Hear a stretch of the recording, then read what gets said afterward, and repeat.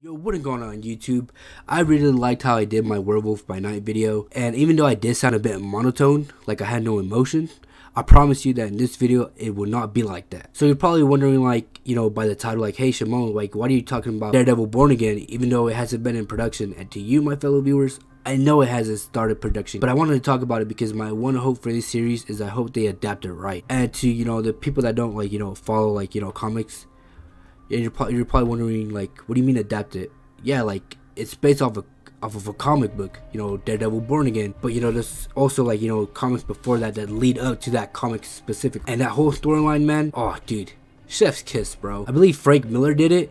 Oh my god, dude, Frank Miller. Ooh, that fool a goat. I have heard, I've heard bad things about him, but you know, you gotta admit, bro, his work is it's working really good. But I'm gonna just say this right now. So if you don't want to potentially be spoiled by the series or even the comic book at all, I suggest you click off the video. But if you do want to get, you know, even more hype for the series and can't wait to see it, you know, in live action, then do continue watching this video. Alright, so basically the whole storyline revolves around Karen. Yes, so if you didn't like Karen back in the, you know, OG, you know, Netflix series, then tough luck because this whole, you know, new series is going to be revolving around her Matt Murdock, and Kingpin. So if you're familiar with the, you know, comic book, uh, basically, you know, Karen Page, she actually goes off and does her own stuff. She, you know, she doesn't want to work like in law anymore. She becomes independent. She wants to be become an actress, and you know, sometimes life doesn't go the way you want it to go, and you know, she fails miserably, like really hard. Like she fails pretty hard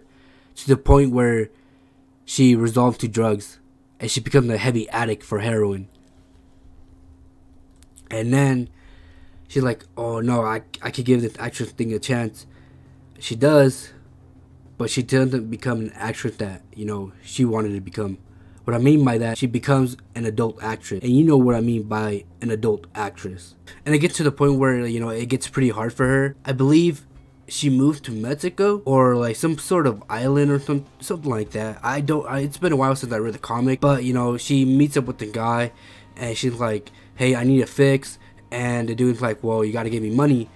And she's like, well, I don't have any money, but I could give you something more valuable. And as she's saying that, she's like, should I do it? I believe she she's like in her head, she's like, you know, I can't believe I'm about to do this. I can't believe I snooped this low.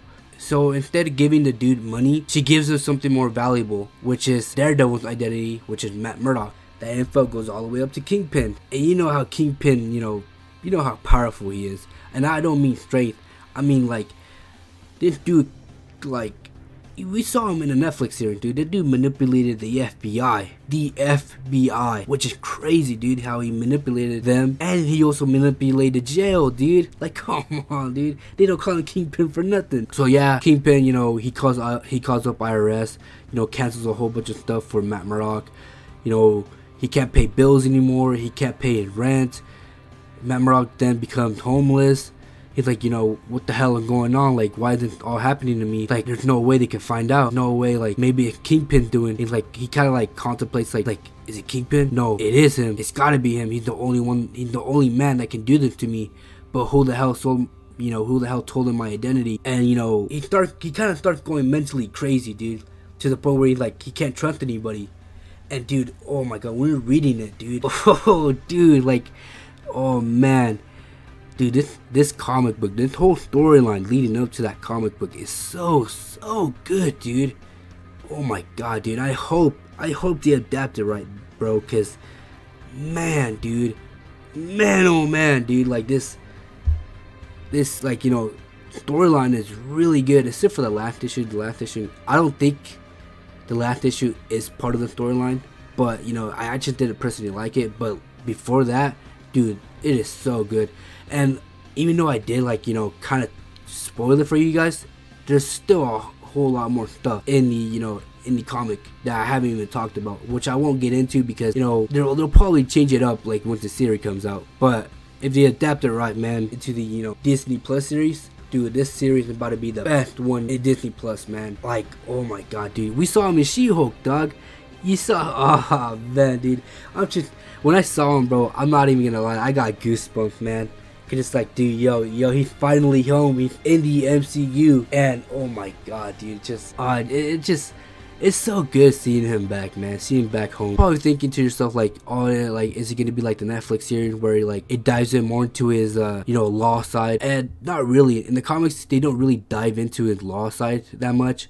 It's practically just you know Matt Murdock trying to survive in the streets because of you know his life is ruined. He can't get a home. He doesn't trust anyone because you know he thinks everybody's out to get him. And dude, I oh my god, dude, like there's so much stuff that I could get into. But you know, again, I prefer for you guys to read it because it is so good. Like, dude, I wish I had a physical copy so I could like you know hang it up in my wall, and, you know, and frame it. And I know it's not like you know it's not like a one million dollar piece, and you know, but I I do not care, dude. I really don't care. I just want it up in my wall because it's so iconic. But yeah, guys, that's pretty much it, man. You know, I really can't wait for this series. And I again, I don't want to get too much into this stuff because I really don't want to like you know spoil a whole lot. Even though like I did kind of spoil like you know kind of the story, but it wasn't like you know the whole story of it. But yeah, guys, that's pretty much it, man. Hope you guys enjoyed this video, and I'll see you guys in the next.